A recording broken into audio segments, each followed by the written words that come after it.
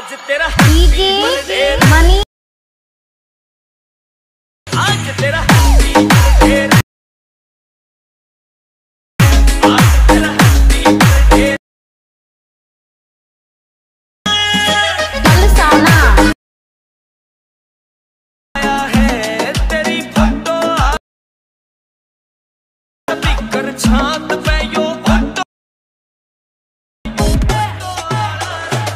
तो आओ यार, अपने कान में ईयरफोन्स डाल लो।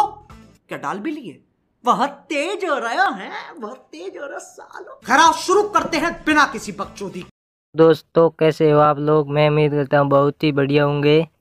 तो आज हम इस वीडियो में Rajasthani happy birthday status video बनाना सिखाएँगे। तो Rajasthani happy birthday status video बनाने के लिए एक एप्लीकेशन की ज़रूरत पड़ेगी, उसका नाम है अलाइट मोशन तो सबसे पहले आपको अलाइट मोशन को डाउनलोड कर लेना है। मेरे पहले से ही डाउनलोड किया हुआ है तो अलाइट मोशन को ओपन करना है। आपको वीडियो को एंड तक देखना है, तभी आपको समझ में आएगा स्टेटस वीडियो कैसे बनाते हैं। और वीडियो के अंदर पासवर्ड भी दिया हुआ है वीडियो को ध्यान से देखना है। लाइट मोशन ऐप को ओपन करने के बाद ऐसा इंटरफेस आएगा तो यहाँ पर प्रोजेक्ट पर क्लिक करना है। बाद में यहाँ पर ऐसा इंटरफेस आएगा तो बिटमार्क चौक पर जाना है। यहाँ पर आने के बाद आपको यहाँ पर फ़ोटो ऐड करना है। तो फ़ोटो ऐड करने के लिए आपको प्लस वाले आइकन पर क्लिक करना है। फिर मीडिया के ऑप्शन पर जाना है। यहाँ से आपको फ़ोटो लेना है। जो भी आप स्टेटस में फ़ोटो लगाना चाहते हैं, वो फ़ोटो यहाँ से लेना है।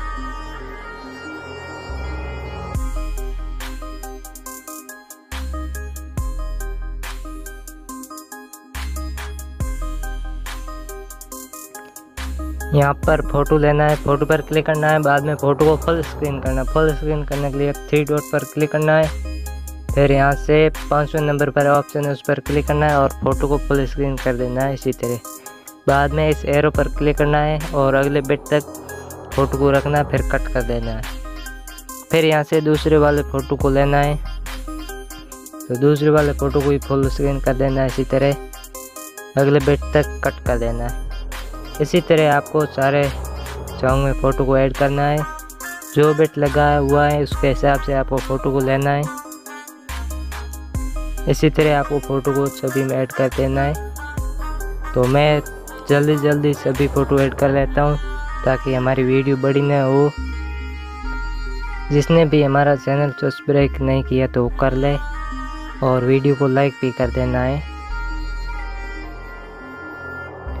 तो दोस्तों मैं जल्दी जल्दी से सभी वीडियो मैं फ़ोटो ऐड कर देता हूँ।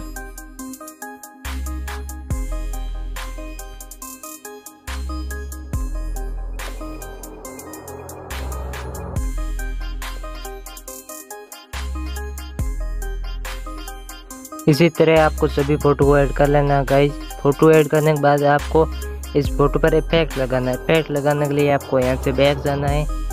शेक इफ़ेक्ट में जाना है। यहाँ पर आकर आपको सबसे पहले वाले फ़ोटो पर क्लिक करना है इफ़ेक्ट पर क्लिक करना है थ्री डॉट पर क्लिक करके इफ़ेक्ट को कॉपी कर लेना है। कॉपी करने के बाद आपको वापस जाना है बैक यहाँ से आपको अपने प्रोजेक्ट पर आना है। यहाँ पर आकर आपको सबसे पहले वाले फ़ोटो पर इफ़ेक्ट को लगाना है इफ़ेक्ट लगाने के लिए फ़ोटो पर क्लिक करना है। इफ़ेक्ट पर क्लिक करके, थ्री डॉट पर क्लिक करके इफ़ेक्ट को पेस्ट कर देना है, इसी तरह। फिर आपको एक फ़ोटो को छोड़ देना है, अगले फ़ोटो पर और इफ़ेक्ट लगाना है। तो फ़ोटो पर क्लिक करके, थ्री डॉट पर क्लिक करके इफ़ेक्ट को पेस्ट कर देना, इसी तरह। फिर आपको एक फ़ोटो को छोड़ देना है। अगले फ़ोटो पर ये इफ़ेक्ट लगाना है, इसी तरह। तो आपको इसी तरह एक फ़ोटो को छोड़कर एक फ़ोटो पर ये इफ़ेक्ट लगाना है।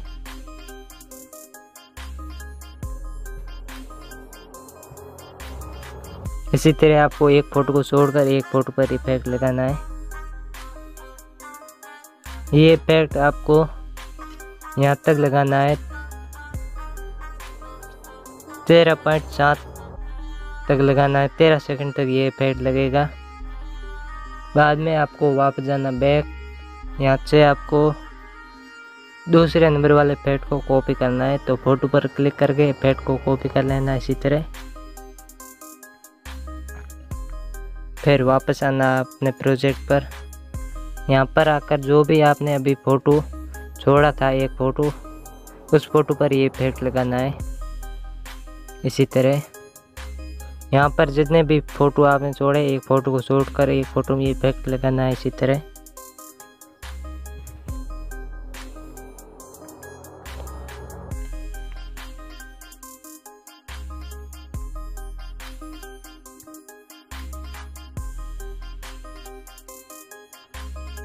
ये भी इफ़ेक्ट आपको यहाँ तक लगाना है। यहाँ तक जितने भी फ़ोटो में लगेगा, उतना में ये इफ़ेक्ट लगेगा। फिर आपको वापस जाना है यहाँ से बैक। यहाँ से जाना है। सबसे लास्ट वाले फ़ोटो पर जाना है और इस वाले इफ़ेक्ट को कॉपी कर लेना है इसी तरह। फिर वापस आना है। आगे जाना है। यहाँ पर एक बड़े बेट में फ़ोटो मिलेगा। उस फ़ोटो पर ये इफ़ेक्ट लगाना है। तो फ़ोटो पर क्लिक करके इफ़ेक्ट को पेस्ट कर देना है इसी तरह। यहाँ से आपको फ़ोटो को साइज़ को छोटा भी कर सकते हैं इसी तरह। जैसा भी रखना आप अपने हिसाब से रख सकते हैं। तो अब यहाँ से बैग जाना है। चेक इफ़ेक्ट मैंने आने के बाद तीसरे नंबर वाले फ़ोटो पर क्लिक करना है और इस वाले फ़ोटो के इफ़ेक्ट को कॉपी कर लेना है। अब वापस जाना है बिटमार्क सॉन्ग प्रोजेक्ट में। यहाँ पर आकर आपको इस फ़ोटो से जितने भी आगे फ़ोटो है, उसमें ये इफ़ेक्ट लगाना है आपको। जो भी पीछे फ़ोटो बसे इसमें यही वाला इफ़ेक्ट लगेगा। इसी तरह लगा देना है। सारे फ़ोटो में इफ़ेक्ट को आपको ऐड कर लेना जल्दी जल्दी से।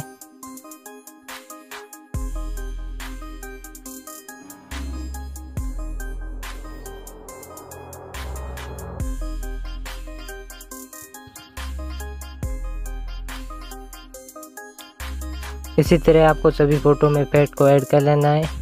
बाद में आपको यहाँ पर क्लिक करके वीडियो को एक्सपोर्ट कर लेना है इसी तरह।